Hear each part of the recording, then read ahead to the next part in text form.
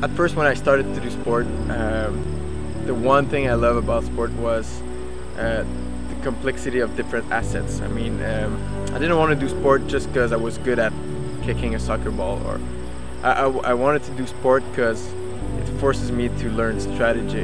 Uh, it forced me to develop skills. It forced me to become not only good at what I was doing, but becoming a general good athlete in many aspects of the sport. That's what Mogul inspire me every day, and that, that's why I do it every day. It's because it's so hard to be good at it, and you have to really focus on every aspect of it. And I mean, it's such a nice sport when you can connect speed, jump, and technique, and you nail a good run.